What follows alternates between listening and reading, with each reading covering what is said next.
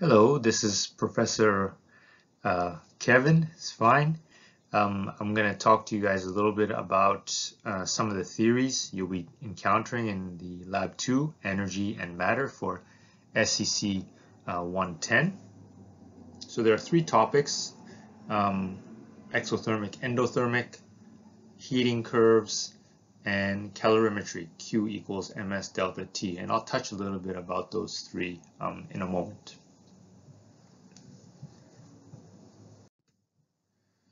So energy heat. Heat is the thermal energy that moves from one body to another. Um, usually when we put our hands on something hot, we don't say that, for instance, that stove has a lot of heat. We usually say it's very hot because heat is actually is the movement of one from one place to another. And as you guys know, hopefully, uh, heat travels from hot to cold things. The unit of heat, the SI unit, uh, SI is a Système International d'Utilité. It's a French uh, word. French governing body came together to put SI units. I'm sure as you know from your lectures. For length, it's uh, meters. For mass, it's kilograms. For temperature, it's Kelvin. For amount of substance, it's moles. So the SI unit for heat is joules. And there are some conversions here. We have one joule, sorry, 4.184 joules is one calorie. And as you know, one kilojoule is 1000 joules. And this depends on for amount of heat being transferred. As you probably experienced, if you had a big cup, let's say a cup of water, and you wanted to raise the temperature by one degree versus a big, say, bathtub full of water, and you wanted to raise it by one degree Celsius, uh, it would take more energy for the bathtub. Uh, you'd have to enter in more energy into the bathtub for the temperature to rise by one degree. You'll be uh, looking at some foods uh, in your lab. So again, some unit conversions. One cal, this is capital C, is 1,000 calories, which is also equal to one kilocal. So just some review from your uh, unit conversions, conversion factors. If I had how many, question is how many kilocals are there in 10 joules? So you'd write out 10 joules. You'd first convert it to kilojoules. One kilojoule on top. For every one kilojoule is 1,000 joules.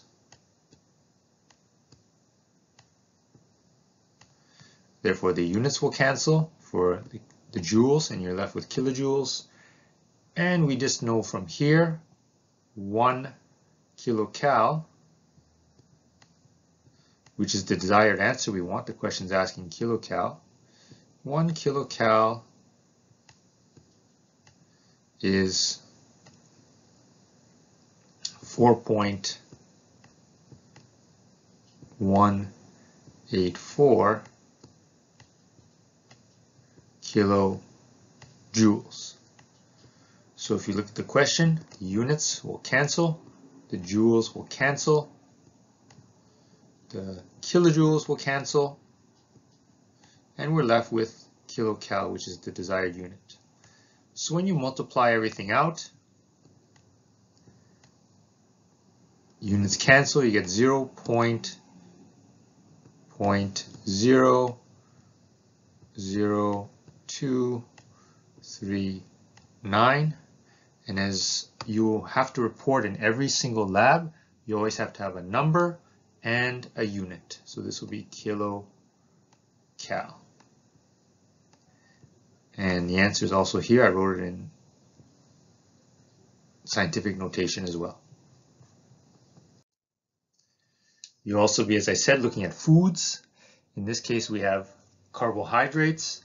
If we wanted, if we had wanted to convert it to kilojoules, so for instance, if we had one uh, gram of carbohydrates in our food, uh, we would multiply by 17 to give us 17 kilojoules for every gram of um, carbohydrates. This is called a calorimeter, which maybe you've seen in class, which is supposed to be in our lab uh, maintaining the temperature. If we did an experiment, let's look at the equation first. The experiment here, the sorry, the equation here is Q equals ms delta T. Q stands for the heat, M stands for the mass, S stands for specific heat, and delta T is the change in temperature. This is a calorimeter, high-end calorimeter, much more sophisticated than the one we'll use in the lab.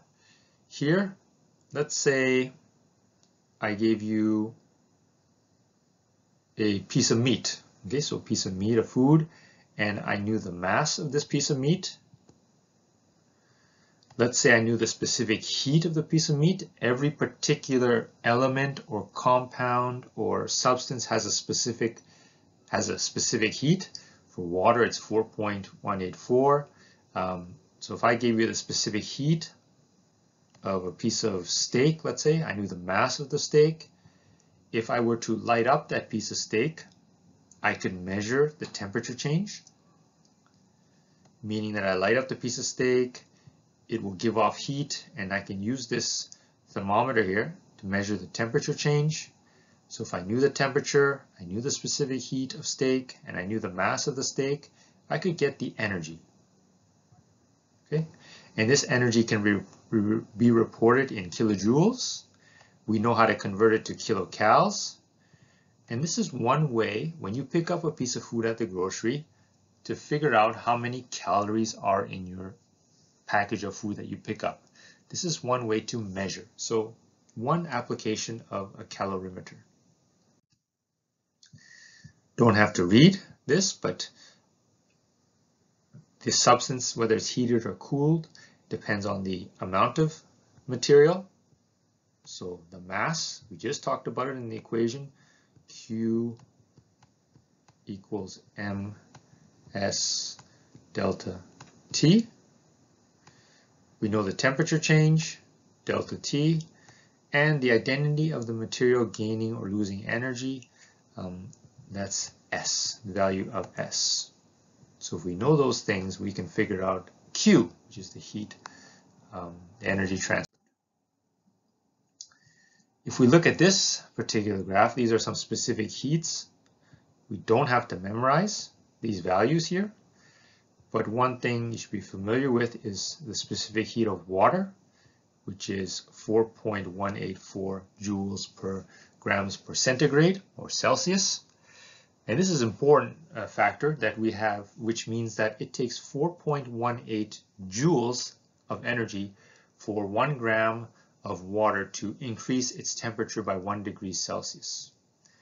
And this is important because if the world was, as you, sorry, the world is made up of about, I would say, 90% water, uh, majority of water, the oceans, etc.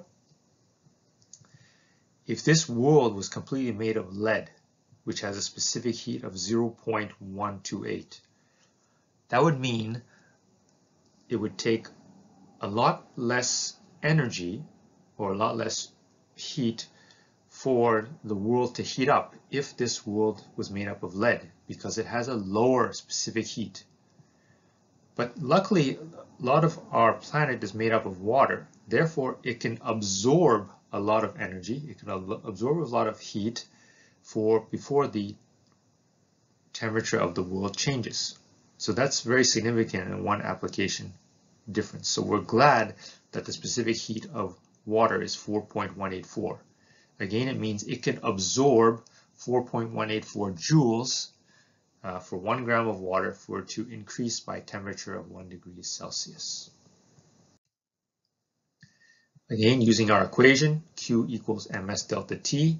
Q again is the heat, unit of joules, mass, unit of grams, specific heat unit of joules per grams per centigrade or Celsius, and the temperature change delta T, T2 minus T1.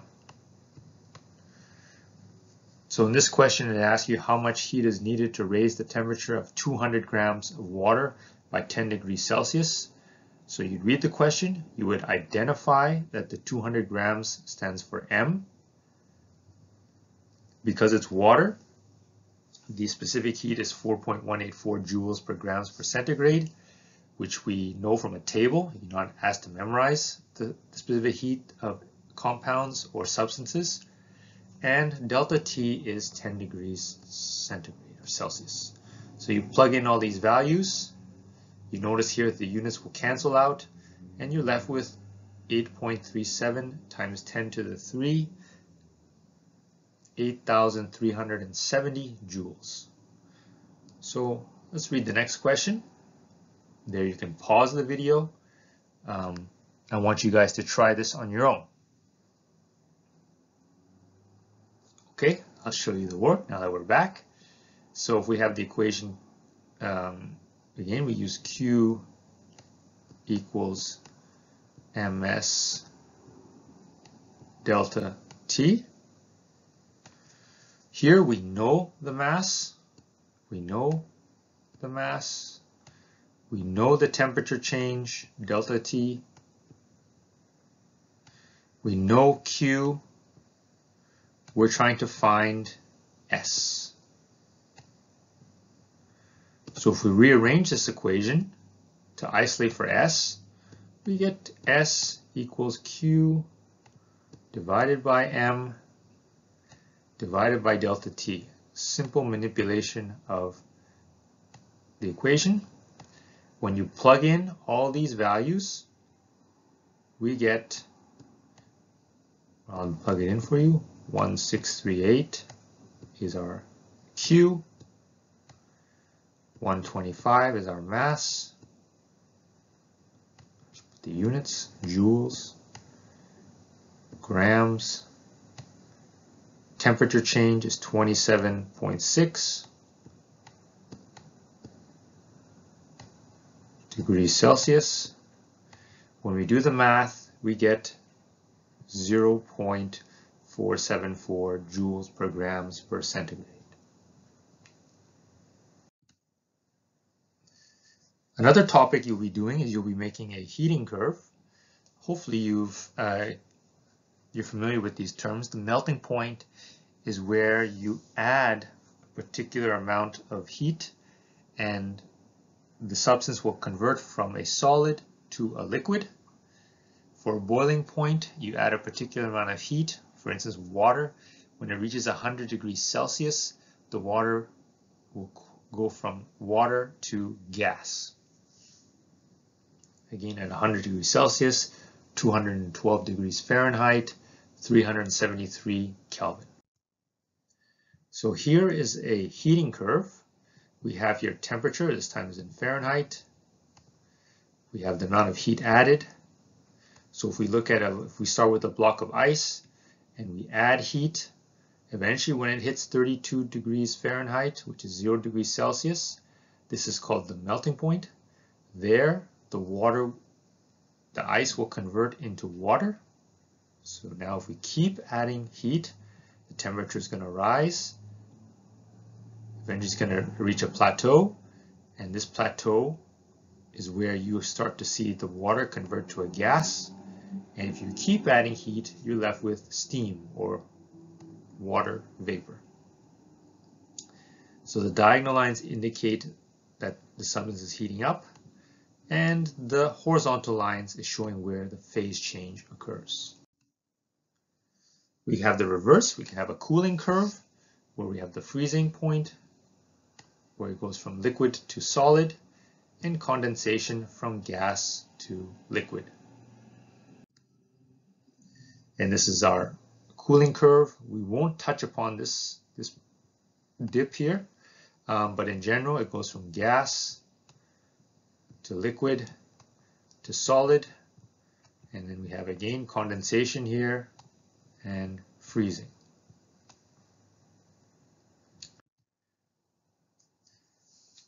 Another term for this lab or another topic is the energy changes in a reaction. Energy, there are three criteria for a reaction to occur. So if we look at the equation A plus B gives you C plus D, again, uh, these are just uh, generic names for the elements coming together. Uh, we need a collision to occur between A and B for a reaction to happen. We need the orientation of the elements or compounds to be proper so that a reactant can convert to a product. And we also need this collision to have enough energy to overcome something called an activation energy, or we call it a fence or some kind of barrier, EA, for the reaction to move forward. So we have two types of reactions, which you'll see, exothermic reaction, and we have endothermic reaction. Exothermic reaction means if you have a particular starting point, let's say A and B, and you add some energy to it, you'll get C and D. But if you compare the levels of energy, again this is energy versus the reaction, you see that the A and B is at a higher level of energy than the C and D. So in this case, what happens is energy is released in an exothermic reaction. I'll repeat that. In an exothermic reaction, energy is released. When you go from uh, water to ice, you release energy. When you go from gas to liquid water, you release energy. Another example, when you light a match, you release energy in the form of light or heat. And we have the reverse here. We have endothermic uh, reaction, which takes up energy. So if you compare where the reactants start, A plus B, where it finishes, C and D, we see we've gained energy. So examples of this are going from ice to water. You need to add heat for the reaction to go forward. For some of you biologists, for photosynthesis, you need to add energy from the sunlight for uh, photosynthesis to occur.